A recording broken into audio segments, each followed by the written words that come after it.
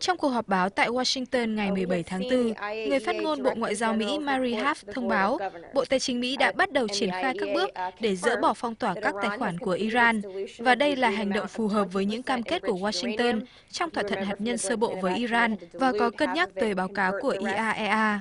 Trong báo cáo mới nhất được IAEA công bố trước đó vài giờ, các chuyên gia quốc tế khẳng định Iran đã tuân thủ những cam kết trong thỏa thuận tạm thời về chương trình hạt nhân với nhóm P5-1. Báo cáo nêu rõ, trong gần 3 tháng qua, kể từ khi thỏa thuận sơ bộ ký tại Geneva hồi tháng 11 năm ngoái và có hiệu lực vào ngày 20 tháng 1 năm nay, Tehran đã hoàn thành những cam kết của mình. Cụ thể, đã ngừng làm dầu urani trên mức 5%, không tiến hành thêm các hoạt động ở cơ sở làm dầu urani Fordo cũng như ở lò phản ứng Arak.